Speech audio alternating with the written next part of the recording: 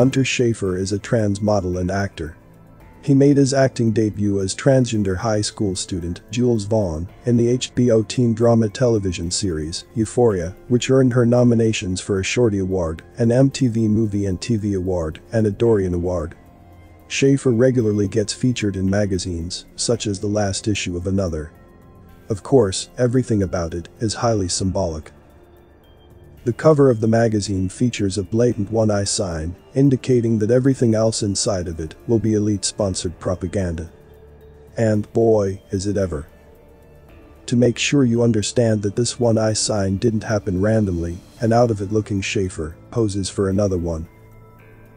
In this pic, Schafer basically looks dead, with mushrooms growing out of the corpse. It's all about the elite's culture of death. This same issue of Another also contained an entire photo shoot with Marina Abramovic, the elite's favorite witch, who is known for catering spirit cooking dinners with the world's most powerful people. The Royal Academy of Arts in London is currently hosting a retrospective of her work, which features insanity, such as a model lying under a skeleton. As usual, mass media is showering her with praise, and the following photo shoot is part of the promo push. Of course, everything about it is highly symbolic. In this picture, Abramovic poses symbolically while wearing red, the color of a cult sacrifice. She stands in front of a red inverted pentagram, which occultly represents black magic and Satanism. I don't think they can make this clearer for us. This is yet another picture of Abramovic around actual human remains. Witches use human skulls to conduct occult rituals. Marina holds the horn or tusk of an animal. In occult symbolism, holding horns means drawing power from dark forces. She loves doing that. This is a picture from 2014 with the same basic message. While Abramovic turned the art world into pure Satanism, various artists are doing the same thing to the music business.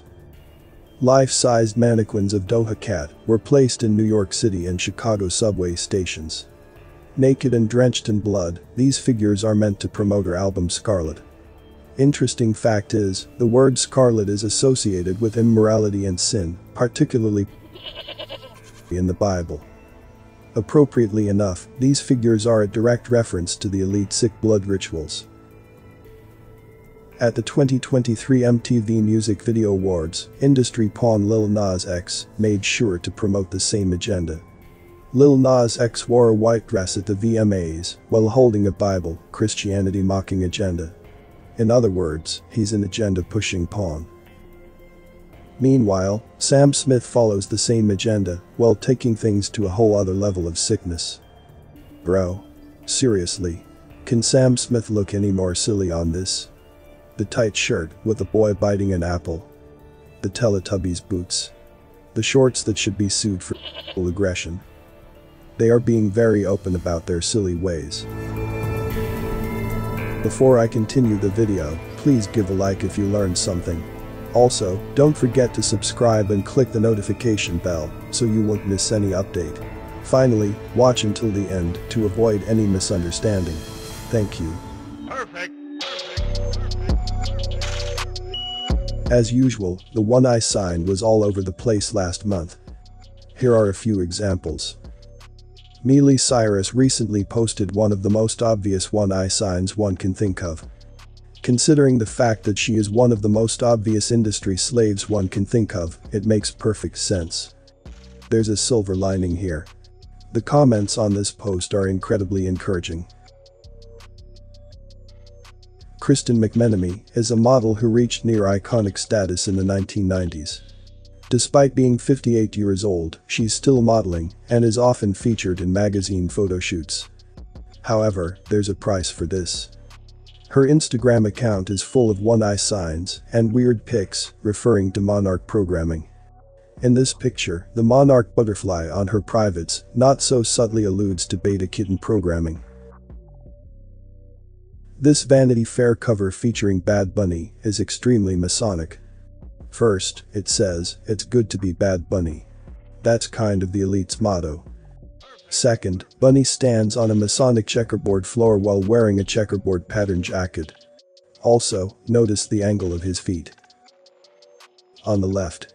A Masonic feet placement guide from Duncan's Ritual and Monitor of Freemasonry. On the right. George Washington with his feet at a 90 degree angle. This is how they pose in official pictures. Another pic from the same photo shoot. Again, on a Masonic floor. Again, Masonic foot placement. The message is, he is owned by the occult elite. By the way, I'd like to shift the conversation to a history that has piqued my curiosity immensely. Hopefully, you're in the know about this one. Noah's Ark's discovery dates back to 1957, when a Turkish pilot captured a photograph while flying over Mount Ararat, revealing the distinct and recognizable shape of the legendary vessel. The pioneering researcher at the forefront of this investigation was anesthesiologist Roy White. His journey into biblical studies and ancient chronology was prompted by a series of peculiar incidents at his workplace. In 1977, White embarked on a research expedition to Turkey, focusing on archaeological endeavors. After extensive measurements and meticulous scanning of the area, he amassed substantial evidence pointing to the presence of Noah's Ark, Notably, anchor stones were unearthed in close proximity, and the ark itself was constructed from petrified wood, dating back to the pre-flood era. Remarkably, the ark's location, aligned precisely with the biblical descriptions and its dimensions, mirrored those found in ancient texts. However, perplexingly, all research findings were retracted prior to publication. Now, the burning question arises. What factors or circumstances led to the withdrawal of Roy White's research findings on Noah's Ark, despite the compelling evidence he had gathered?